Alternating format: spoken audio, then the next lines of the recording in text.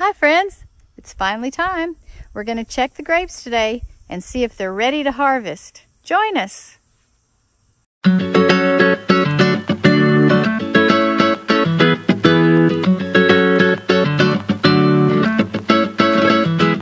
So what we're going to do is, what, take little samples of several or explain to me what we do on this part. We're going to take takes out of the center of several clusters. All on this on, row or vine or all on, over the whole vineyard? On it, on several spots. Yeah. And these are all Tempranillos. And here's another Tempranillo on this side. And we're just getting a little sampling of several. But they're really hot right now. After we We've got to move to the rest of them. These are just some fill-ins from vines that die.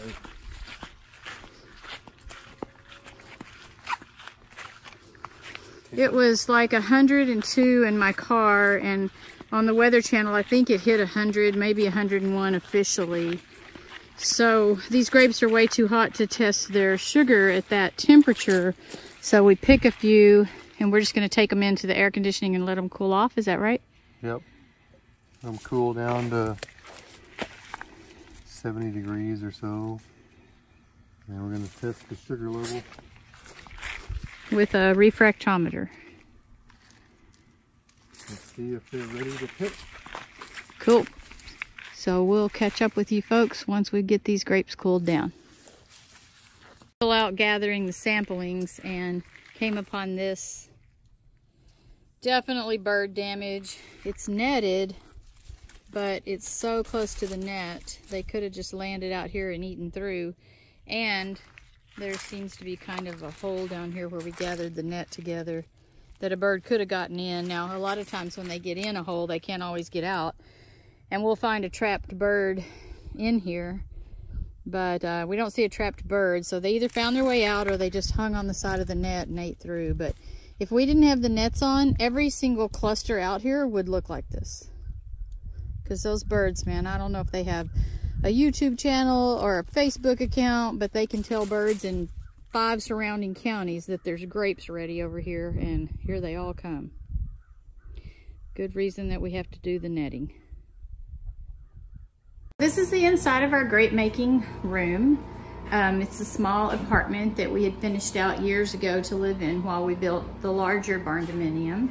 But um, after we moved into the larger barn dominium, this small apartment turned into our winemaking area. As you can see, there's various and sundry winemaking things all over this room, which we'll go over them slowly throughout the course of this. And um, did want to show you this. We ordered a kit without growing the grapes because I've really come to like some white wines lately and decided to just dabble and, and make a white wine from a kit. And that is a great way to start making wine for any of you interested. Just order the kit of juices and all of the additives online as a kit. And it just kind of lets you dabble and play and see the process without, you know, biting the bullet and doing the whole big thing. Um, anyway, so this is the area and uh, we're just getting it ready right now. Steps are to drink a beer, evidently. Crush up our grapes. Crushing them up all together, a sampling from several of the different rows and the different vines. Pretty much two grapes off each vine.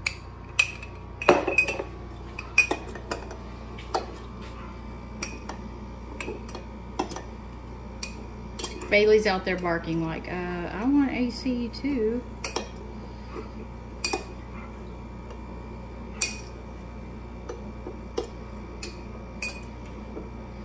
We're just getting out all of the pulp and squishing them and we want juice, right, for the refractometer? Right. Now to help with the cooling process, we're going to put it in the refrigerator. And wait.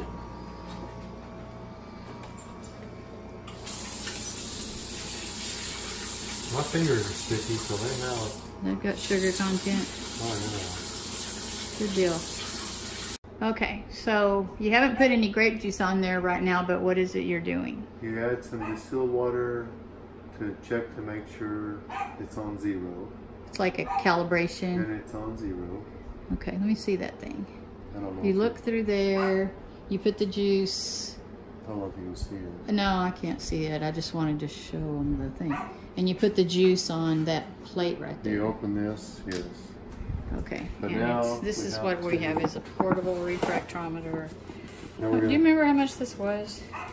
oh, they're cheap. They're like fifty dollars. 50? I thought it was only like 10 or 15. No, it's like. Okay, it's like $50. 50. Okay, anyway, so portable refractometer. Then Now we're gonna pour our just some of the juice. cool down juice on the slide. Close this and make sure that it covers the whole surface. No air bubbles. We're good.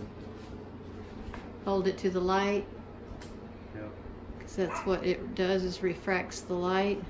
This light's not bright enough, so we have to move it here. To a barking dog.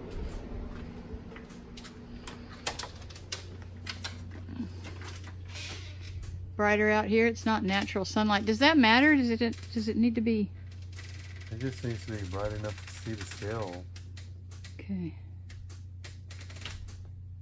And then it gives you a reading inside, right? It- It gives you a reading. We're only about 22, Whoa, that's. which is white wine. oh, I thought we needed it to be 20. No, 20, 22 is white wine. We want 24, 25, 26 for ours. So we have a few days left. So when I told y'all 20 earlier, I was way wrong. Um, that's for white wines. The, we wanted ours 20. Tell me again. 24, 26. 26 is makes it sugary enough, and it isn't there yet. So um, we're saved from doing it tomorrow, but we will be picking this weekend most likely. Um, we're helping another vineyard out on Saturday, pick their Tempranillas, so we'll probably be picking ours on Sunday. But not quite ready yet, but that's how we can tell. Thanks for watching.